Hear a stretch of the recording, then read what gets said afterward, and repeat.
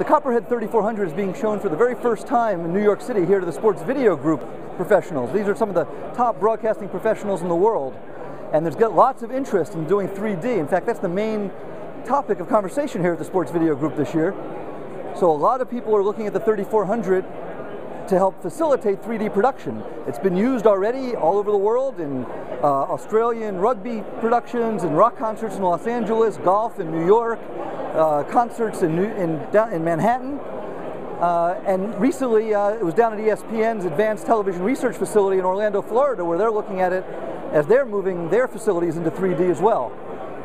So, if, if you're trying to do 3D, you're going to want to use fiber, and if you want to use fiber, you're going to want to use a Copperhead 3400. Okay, well today we've got the Copperhead 3400 system mounted on a 3ality 3D rig. The 3D rig provides 3D signals to, for a live broadcast, which is what this rig is specially designed for, although it can also be used for motion picture production, as well as sports and any other 3D production that you might want to produce. The system consists of two Sony P1 cameras and a beam splitter system, the beam splitter rig here. And all of the signals from those two P1 cameras are brought via coax, BNC cables to the Copperhead 3400. The Copperhead 3400 aggregates all of the signals that need to move from the 3D rig to what would normally be the truck or the control room all over a single fiber optic cable, in this case, SMPTE hybrid cable.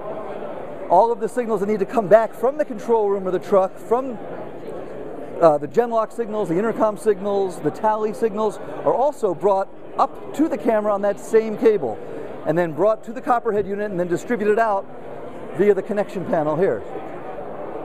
The, uh, the system has audio connectors here, intercom, plus your Genlock outputs to feed the cameras, your HD SDI inputs from the cameras, as well as return video for the viewfinder and, and tally signals, and full camera control. So all of the camera control signals to control both the Sony P1 cameras and the 3D rig all come off of the uh, remote control connectors down here.